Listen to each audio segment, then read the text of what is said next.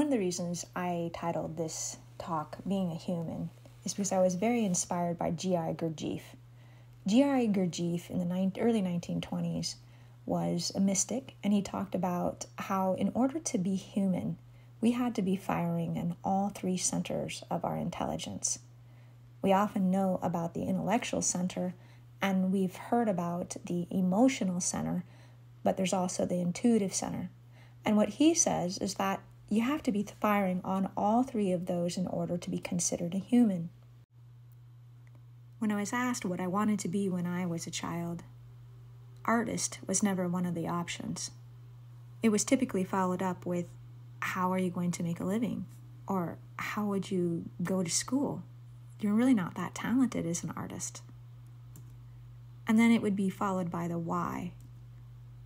I don't know how you're going to get a job and contribute to society how are you going to buy a car, a house, or a boat? And often people were really focused on power, prestige, and possessions, things that I really wasn't interested in. None of those things met my why.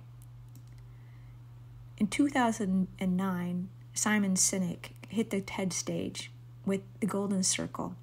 He helped me understand that it wasn't about the what, how, and why in that order it was best to start with the why, and then the how, and then the what. When starting with the why, I really had to ask myself, what is it that I really love about creating art?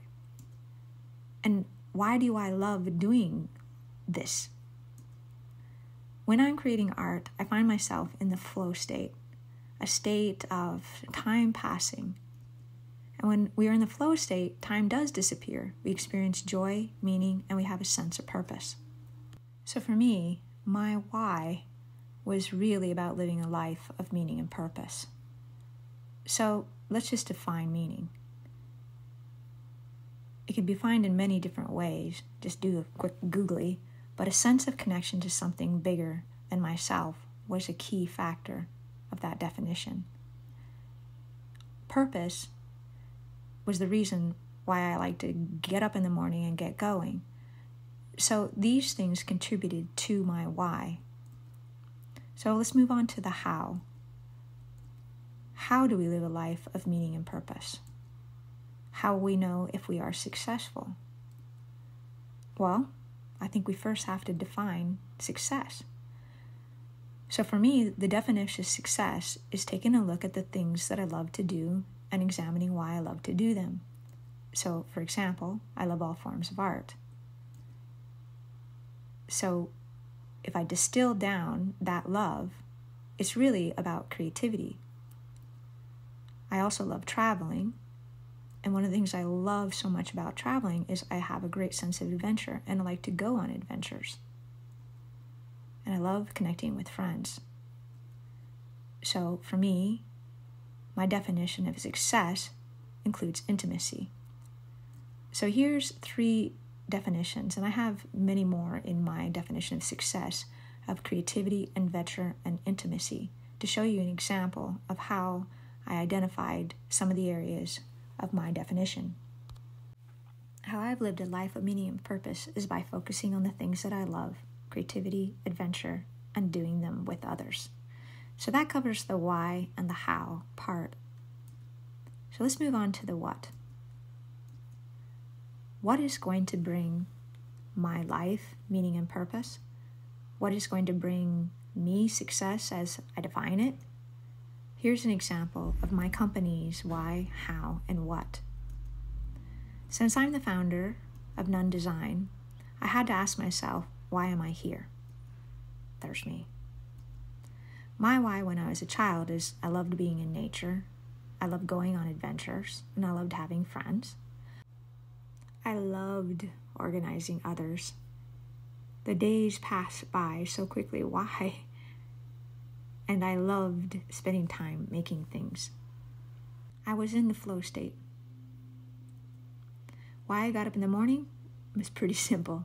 I loved to go out and play and have fun. My why gave me meaning and purpose how did I get to where I am now? I had hobbies, jobs, I developed a career, and I grew it into a vocation. Elizabeth Gilbert took the TED Talk stage with this concept. For myself, I had lots of hobbies and I played as a child, collecting stamps and coins. I built things, I loved to read, I play and ran about. And then as I grew up, I started jobs. I had paper out, a beauty shop. I worked at a beauty shop, a law firm, an accounting firm. As I got older, I took a gap year in between college and I traveled for a year in Europe. I then went to a four year art school to study graphic design. I had a job at the school office, and this paid for my tuition so I could graduate with no debt. After I was done, I started a career as a freelancer, and then I started my first company where I designed and sold t shirts. I started my second company at age 26, designing stationery from recycled prep paper. And then it wasn't until I was 33 that I started Nunn Design. I really felt like I had found my vocation. It incorporated all the elements of my definition of success. The mission at Nunn Design is through collaborative relationships, Nunn Design inspires and nurtures creativity. This is our company's why, and it incorporated all of the things from my childhood that I love to do. So, how? How do we inspire and nurture creativity? We do this through our website, through photography, through our blog, through our education, through product development, marketing and design, and by supporting other artists.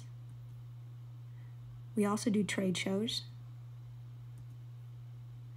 so, our what is about a lifestyle. We sell a lifestyle, we sell a dream. What wisdom can I give to those who are starting on this creative path? What advice?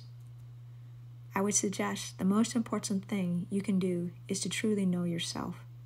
Know why you do what you do and why you love doing it. How do these things bring you meaning and purpose? How do you define success? I also suggest that you find a mentor and always believe in the world of possibilities.